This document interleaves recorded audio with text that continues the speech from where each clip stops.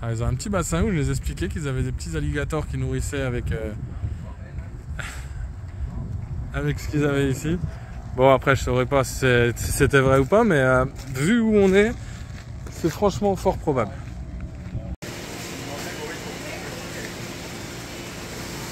Donc là, on est entre Miami et Orlando, donc à peu près une heure et demie de route au sud de Orlando.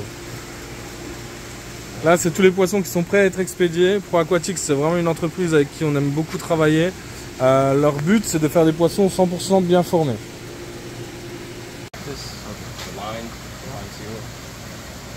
we put them in with these decorations. They'll get a lot, lot lighter yeah, yeah. coloration. They kind of get yellow after yeah, a while. For my, when I did my studies, I, uh, I did some... Les dix premières rangées sont constituées euh, de poissons clowns. Donc, on peut voir, ils vont mélanger en phase de grossissement les espèces.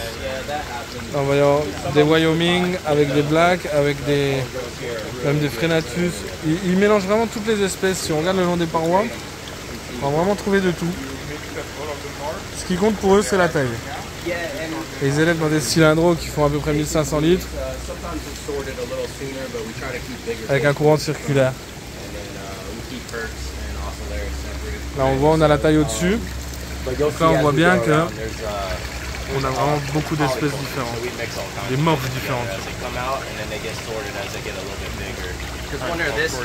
Pro Aquatics sont spécialisés euh, dans les poissons de nano aquarium, comme les gobiosoma, les, petits gobiodons, on va les voir juste après.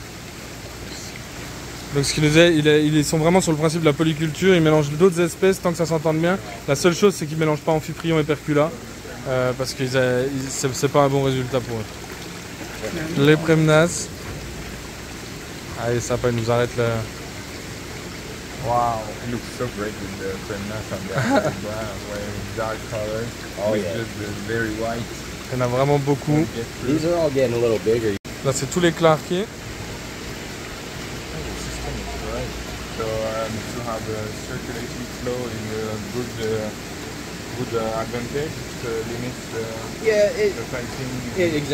Ils sont vraiment réputés pour euh, fournir des poissons sans problème d'opercules euh, déformés, sans problème. De... Et je pense qu'une partie de leur grossissement en polyculture et euh, leur système, euh, je pense que c'est pour ça aussi. C'est quelque chose que nous, on n'a jamais fait. Et je pense que c'est super intéressant parce qu'en fait, les plus fragiles, donc c'est généralement ceux qui sont déformés, qui présentent des problèmes, des, défauts de nageoire ou autre. Là, dans ce système-là, je pense que c'est eux qui meurent en premier. C'est triste, mais dans le grossissement, euh, ça permet d'avoir que des poissons qui sont clean. Quoi. Je vous expliquais qu'ils se séparaient quand même au fur et à mesure. Et plus les poissons étaient agressifs, plus ils mettaient un courant fort de manière à ce qu'ils aient plus de temps à lutter contre le courant qu'à se bagarrer. Et après, par contre, ils sont obligés de séparer les poissons agressifs dès qu'ils sont assez de taille. Ils sont obligés de séparer les amphitrions des perculas et là, ils trient un coup. Point de vue filtration, on a un grand écumeur, des filtres à sable, où là, euh, ce qu'on va essayer, alors bien sûr des filtres à poche, là-dedans c'est des filtres à poche mais sous pression. Donc ça c'est un système classique euh, d'aquarium public, euh, c'est des pompes de piscine à la base. Et on va avoir des filtres à sable pour faire de l'anaérobie. Euh, c'est-à-dire transformer les nitrates en diazote gazeux dans le but qu'il n'y ait pas de nitrate. Parce que toute la partie aérobie euh, se fait directement avec des bioplastiques euh, qui, sont ici. Nous, on les, on les revend, on est revendeur de ça sur la partie aquaculture. Ça s'appelle des helix, ce qu'on a. Et c'est vraiment là que les bactéries vont se développer, créer de la, en aérobie uniquement, donc créer les nitrates, créer le cycle de l'azote, hein, donc dégrader les protéines, jusqu'à arriver à l'accumulation des nitrates. Par contre, après, voilà, ils ont besoin du filtre euh, sous pression euh, dans le but de, créer de l'anaérobie. Là, on a un filtre rapide, là, on a un filtre lent. Et le but, c'est d'enlever les nitrates. Donc, par, lignée, on a ça. Chaque lignée a sa filtration.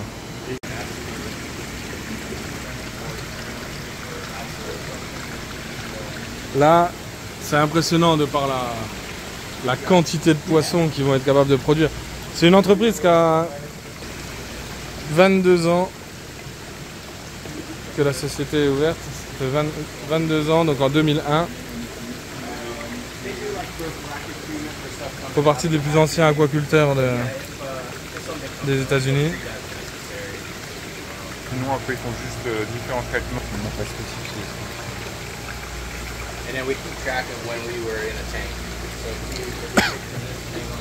Donc dans chaque euh, bassin, il nous dit qu'il y a à peu près 2500 à 3000 individus. 1500 litres et que la lignée entière fait 27 000 litres. Donc chaque ligne de production, ou de grossissement dans ce cas-là, fait 27 mètres cubes. Donc on a une ligne ici, une ligne ici, une. Donne des granulés un peu tout, la, tout le temps et il donne aussi une, une, un, morceau de nourriture qu'on voit flotter là qu'ils appellent la gel food. Donc ils gélifient de la nourriture avec des algues marines, donc ça c'est assez naturel. Et euh, ils vont faire une nourriture eux-mêmes. À voir la couleur rouge, on se doute que c'est bourré de caroténoïdes dans le but que les poissons soient plus colorés. C'est vrai que les poissons de proie aquatique sont vraiment très colorés. Mais euh, voilà, c'est surtout pour les occuper. Pour qu'il y ait en permanence de la nourriture qui flotte. Et après, ils vont faire des nourrissages toute la journée. Donc trois fois des granulés par jour. On a les grosses carangues qu'ils élèvent surtout pour les aquariums publics. Ils en envoient dans le monde entier. Parce que ça devient vraiment, ça devient costaud quand même. hein. Je pense qu'on en est à la dixième ou onzième cuve de Friedmanie. Tant ce poisson euh, plaît, de par sa couleur et, et sa façon de vivre en harem avec euh, trois femelles pour un mâle.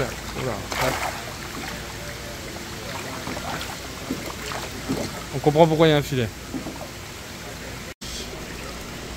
Euh, des Sanctus.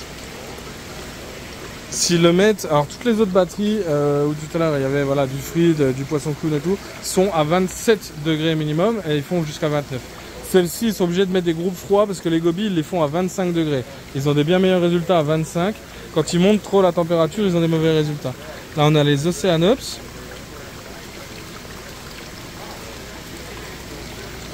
Ensuite, euh, ici on va avoir les, les Phalaena et les Grammaloretto.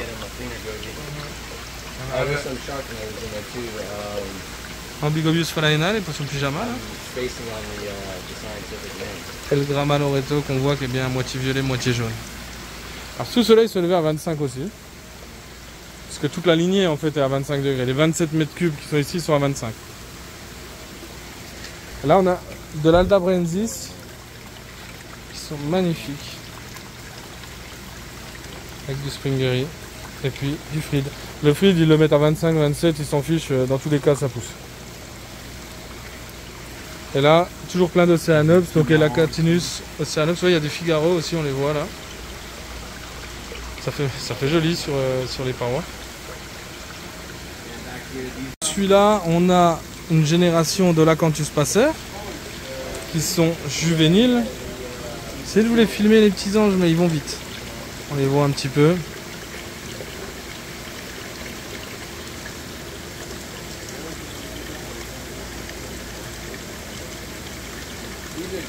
Alors ils ont les géniteurs là-bas et leur but c'est de faire des F2, donc de deuxième, génération. C'est pour ça qu'ils gardent ceux-ci pour en faire des géniteurs. Les salarias noirs, forcément noir sur noir, on voit juste les petits points qui bougent. Ça fait euh, que deux ans qu'ils font du passer. La première année, ça a très bien marché. Ils ont gardé certains du qu'on a avant pour faire des autres géniteurs. Et cette année, ils ont eu un peu plus de mal. Ça fait deux ans, donc c'est encore en train de d'affiner le truc. Et ils disent que ça dépend beaucoup de la qualité des œufs des parents. Et année, Ouais, un peu moins je de l'arnaque. On a vraiment des tentes, donc je pense que c'est leurs géniteurs bien sûr qui sont dedans.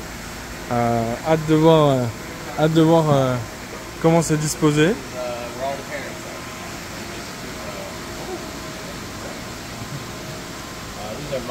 Yeah, yeah. Um, they're Ça, popular aquarium fish for Yeah. public aquariums. So Stand bleu, on a des fusiliers, qui sont des gros poissons, surtout destinés, et des labres, avec des espèces qui connaissent pas trop les noms d'une manière générale aux États-Unis. Les noms scientifiques, c'est pas. À part Chris qui maîtrisait bien et une ou deux personnes, là ils en maîtrisent un ou deux, mais c'est vrai qu'ils n'utilisent pas du tout les noms scientifiques, alors c'est compliqué. Ça, c'est surtout pour le marché de l'aquarium public. Ouais, ils ont du Zanclus ici et ils essayent de les reproduire, mais pour l'instant, ils n'ont pas trop, trop, trop de succès. Yeah, no problem. Là, c'est des Solenwurmer, donc c'est pareil, c'est dédié aussi euh, à l'aquarium public. hein. C'est des poissons qui ont une taille impressionnante et qui ont une vitesse de nage et une longueur de nage assez impressionnante. Celui-là, il y a les carangues qu'on a vu là-bas, mais en version adulte, et visiblement, leur but c'est de nous arroser.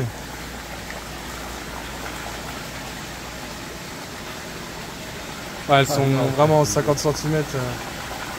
They're like puppies. Yeah. yeah, yeah. You can pet them.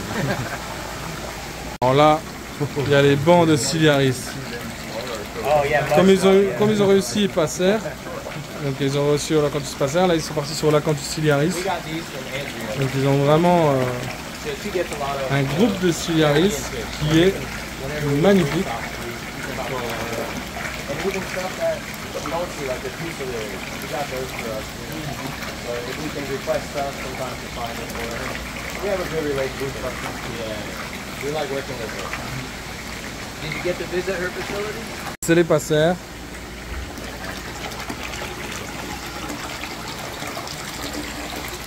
Ouais, c'est magnifique. Et là encore, on s'imagine, c'est juste un tout petit éclairage néon. Alors, si, on, si on mettait un, un éclairage puissant, là, là, on a des reflets jaunes, dorés.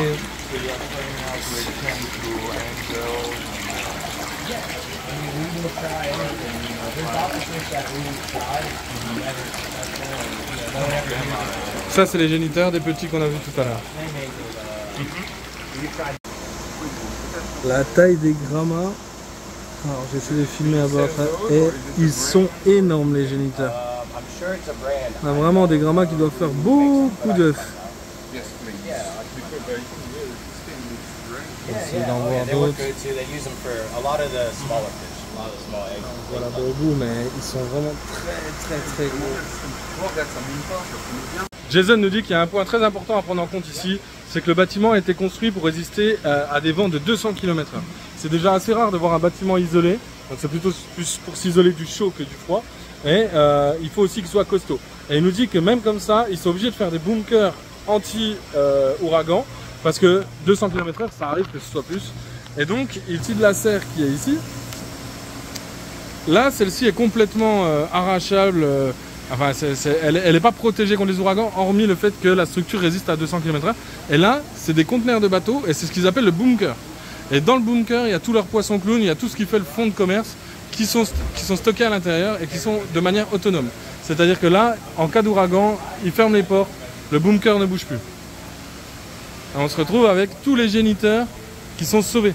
Parce que pour eux, ça, c'est vraiment, ça a une très très forte valeur, même pour tout le monde. C'est clairement là que l'argent, euh, l'économie de l'entreprise se trouve, c'est sur les, géniteurs. S'ils ont des nouvelles larves, ils peuvent, ils peuvent relancer très vite leur larvaire. Par contre, donc ils peuvent perdre leur larvaire assez facilement sans un gros impact économique, mais ils peuvent pas perdre leur géniteur, sans quoi il faudrait plusieurs années pour refaire le cheptel. Quelque chose qui ne fonctionnerait jamais en Europe? In nageoire plus like grosse lèvre. brand. I see. Oh, the On est sur du poisson clown, euh, variété sélectionnée, qui ne plaît pas du tout en Europe, à juste titre. Moi, je trouve pas ça très joli. Mais euh, il y a des, certains marchés qui sont absolument fans de ça. Vous, vous en pensez quoi? Vous aimez?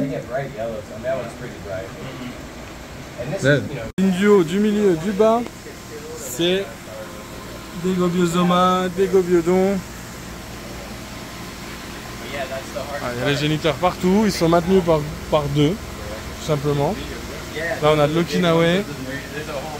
Alors comme on est dans des structures d'élevage, le but c'est de les embêter le moins possible. On leur donne bien à manger, mais on va pas venir nettoyer les vides toute la journée. C'est vraiment pas l'objectif. Donc ils ont réussi une fois avec les Okinawa ici. Là il y a des gobiodons citrinellus, citrinus. Là il y a des yachins. Ici, ici, à chaque fois ils sont en couple. Et derrière, t'as tout. Là c'est les Elacatinus. On a chaque fois deux parties tuyaux. Ils ont beaucoup, beaucoup, beaucoup de géniteurs.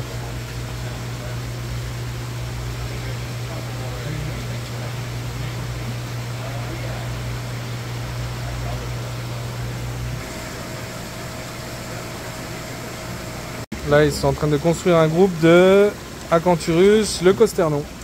Alors forcément pas les plus faciles à prendre en vidéo. C'est une grosse. Et le projet est plaisant parce que du leuco d'élevage, connaissant la difficulté de maintenance de cette espèce, ce serait super. De l'Eniochus.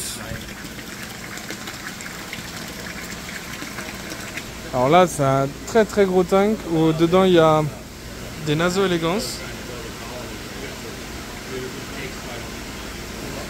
Ils ont un groupe de géniteurs de naso.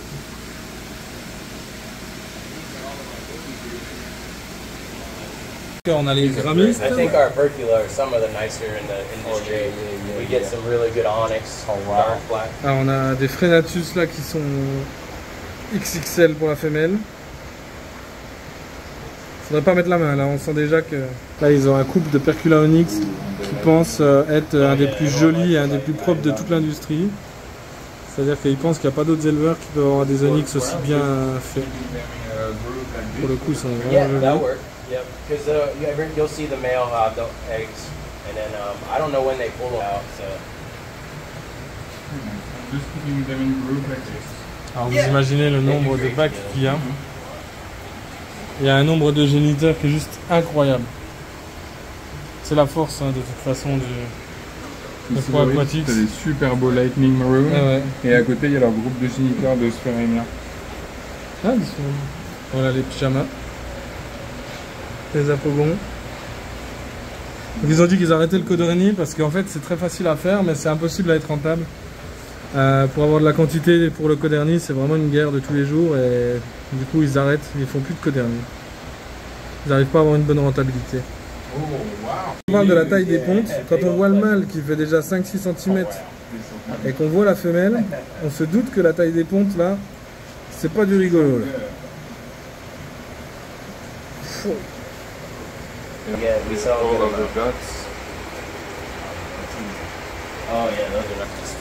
Ceux-là sont magnifiques. Alors je m'excuse à chaque fois pour les vitres, hein, mais euh, j'essaie de trouver un endroit propre sur la vitre sans embêter les poissons parce qu'ils veulent vraiment pas faire les vitres. Le but, alors on leur a pas demandé, hein, mais je veux dire, d'une manière générale, les éleveurs, faut pas toucher aux vitres parce que c'est ce qui fait que les poissons sont bien.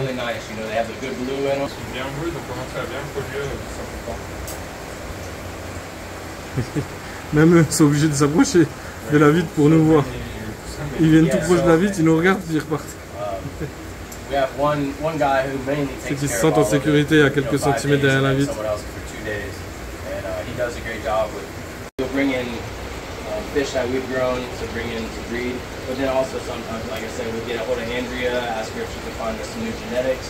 des souches qui n'ont pas du tout de bande noire. Ils n'ont pas de petits liserés noirs sur le tour. Hein. 100% of course, Ils sont très très très jolis.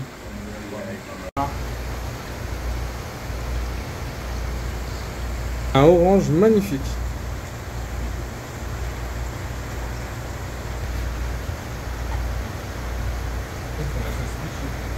Uh, this, I guess the mate's gone, so we don't Yeah, produce this them is anymore. one.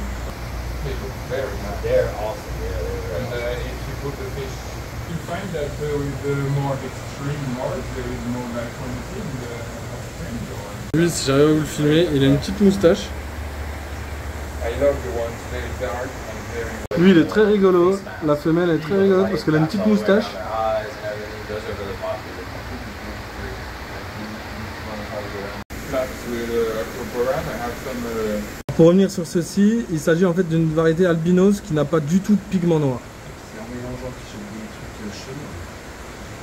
Alors ils en ont quelques-uns un peu en bas de la nageoire, mais euh, visiblement c'est comme ça qu'ici ils les définissent. Il n'y a qu'à peu près la moitié, et là elle produit énormément de propagules. Ils Donc ils ont planté une mangrove il y a quelques années. Et ils ont la mangrove directement. Et tout ce que vous voyez c'est des propagules qui flottent. Et donc ils vont récupérer régulièrement pour replanter.